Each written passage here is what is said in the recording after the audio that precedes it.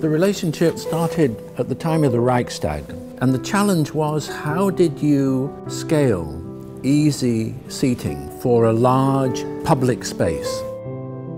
Decades later, we see the possibility of a modular system.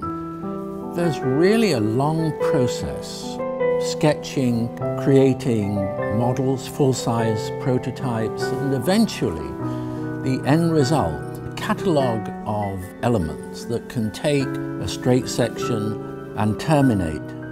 Or these individual elements can come together to make a semicircle, a tight circle, a lazy circle. But then it gets really interesting when you start to combine these and you can get snake-like forms that continue in space. So something which works as an individual piece of furniture can come together and create very, very large groups.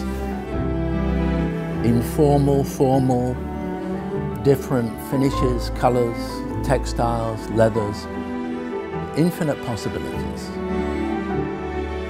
The tables that complement the system, they kind of dock alongside the seating, but they're contoured in such a way that they can kiss each other and they don't raise the other. They're, they're sympathetic to each other. I think the outcome of this as a system is that it is adaptable. You could imagine it in a gallery of modern art, you could imagine it in the reception area of a corporate headquarters, uh, or in the intimate space of a home.